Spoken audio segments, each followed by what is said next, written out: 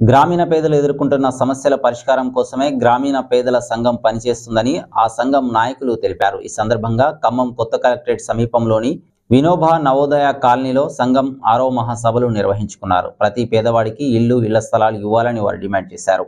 పాలకులు కార్పొరేట్ సంస్థలకు అనుకూలంగా ఉంటూ పేద మధ్యతరగతి ప్రజల సమస్యలు గాలికి వదిలేస్తున్నట్లు వారు ఆరోపించారు. ఈ కార్యక్రమంలో జతిన్ కుమార్ విజేందర్ రావు ఎర్రయ్య వెంకటాద్రి ముత్తయ్య లక్ష్మణాచారి రామచంద్రయ్య తదితరులు పాల్గొన్నారు.